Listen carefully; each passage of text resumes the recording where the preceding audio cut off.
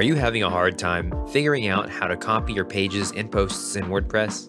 Whether you're testing out a new website design, creating mockup pages, or you just want to reuse some of the content on a previously created page, knowing how to create a copy will save you a great deal of time.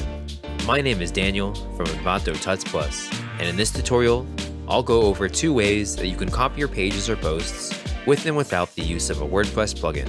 The first method will be using the Yoast Duplicate Post plugin. We'll go over how to install the plugin, how to configure the plugin so it copies the pages or posts exactly how you would like, and then how to actually duplicate the post. For the second method of duplicating posts and pages, we will be using the built-in features in WordPress's block editor, Gutenberg. By the end of this tutorial, you'll be able to copy any of your pages or posts quickly and easily if you are looking to create a fully featured and professional WordPress website, then CodeCanyon is the number one marketplace for you to find the highest quality WordPress plugins available. These plugins can help you add the functionality needed to reach your business's goals. You will find a massive library of over 7,000 other premium WordPress plugins that are sure to take your site to the next level. WordPress is a powerful CMS platform that has tons of high quality plugins that you can add to your site. WordPress is said to have a plugin for everything. And in the case of duplicating your posts and pages, there is a great plugin called Yoast Duplicate Post that we can use. Let's start by installing the plugin. Head on over to the plugin sidebar and choose Add New. From there, we're going to go on over to the Search Plugins field and type in Yoast Duplicate Plugin. Then click on the Install Now button and then click on the blue activate button. And now the plugin is activated on our website. Before we go over how you can duplicate your pages or posts, let's take a look at the plugin settings so you can see the options available to you on how the plugin duplicates your posts. Navigate to the left sidebar, settings, and then go down to duplicate post and click that option. Here the duplicate post options will be displayed in three tabs. There are often three settings you'll want to adjust in order to have this plugin running efficiently for you. The first option is in the What to Copy tab. When duplicating a web page, you'll often want to copy more than just the text. You can use Duplicate Post to copy a web page's featured image, author, title, and everything else in this list. Be sure to choose all the options that apply to your particular pages and posts. In our case, there's only one author on our site, so I will select the author checkbox. And now the author will get copied for every post and page that we duplicate be sure to go to the bottom of the page and click Save Changes.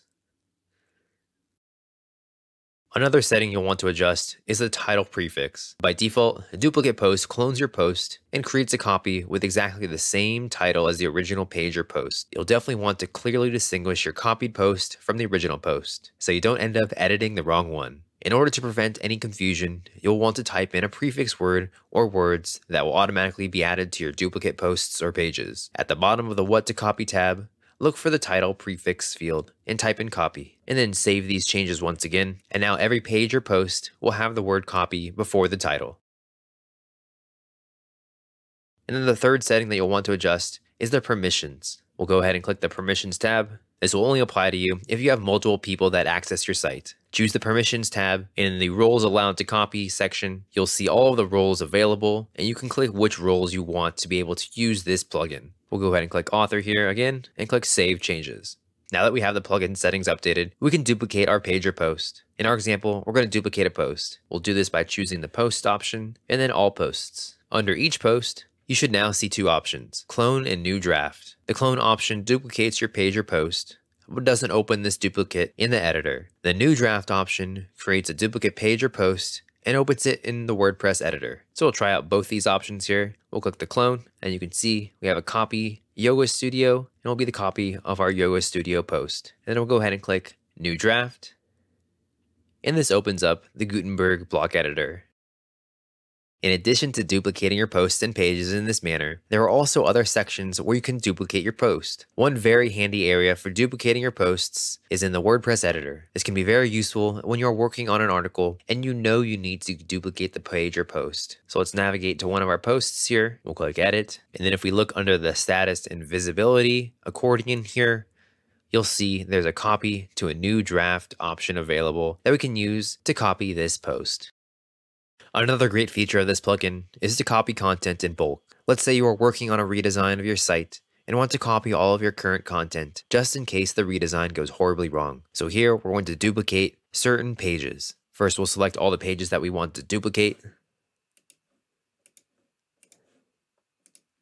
And then we'll open the bulk actions menu and choose the clone option and then click apply.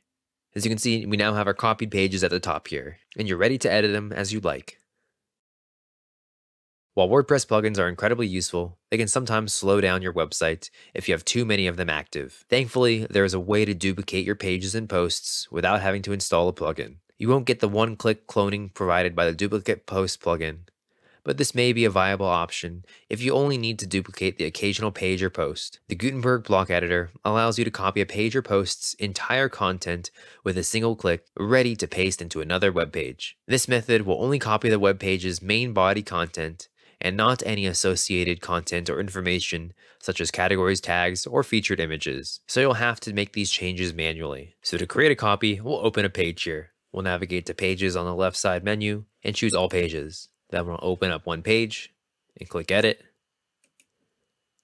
Then we'll navigate to the three dots at the top right corner of the Gutenberg editor and choose the option copy all content. We'll then go back to our pages and choose add new and title it sample page extended. And then finally paste the content onto the web page right click and choose paste. As you can see, this was all the content from the sample page. Again, you'll manually need to add any missing content or information, such as the title, featured image, and any tags that you want to use. And you can do this by choosing the page option, and then adjusting the settings on the right hand side. So these are the two various methods for how you can create duplicate pages and posts within your WordPress site by either using the Yoast duplicate plugin or using WordPress's standard Gutenberg block editor, you can quickly and easily duplicate your posts and their metadata associated with them. Thank you so much for checking out this video everyone. If you like this little tutorial and would like to see more, be sure to subscribe to the Envato Tuts Plus YouTube channel. If you are looking to learn even more, why not check out some of the other excellent tutorials that Envato Tuts Plus has to offer. I'm Daniel, and I'll see you next time.